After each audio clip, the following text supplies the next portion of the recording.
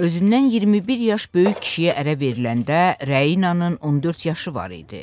Adəti üzrə o ərinin ailəsinin yaşadığı evə köçüb, lakin qızcığazın nə evlilik, nə də ondan gözləntilər haqqında heç bir təsəvvürü yox idi.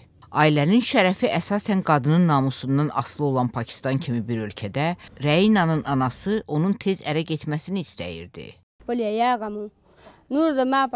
O ərə getməli yaşda deyildi. Lakin mən onun atasının şərəfini düşündüm. Ona görə də onu tez ərə verdim.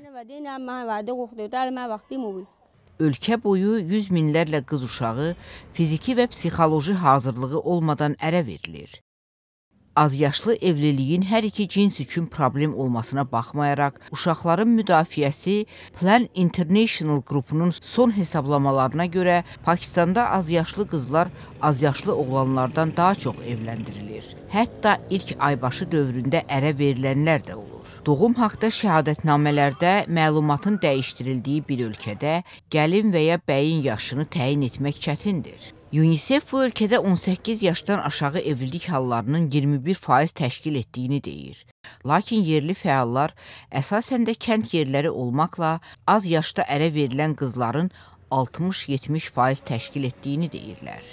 Fəalların dediyinə görə buna səbəb maarifləndirmənin olmaması və yoxsulluq, eləcə də cəmiyyətdə qızın rolu haqqında formalaşmış fikirdir. Oğlan potensial olaraq qazanc gətirən, qız isə maliyyə baxımından yük kimi qəbul edilir.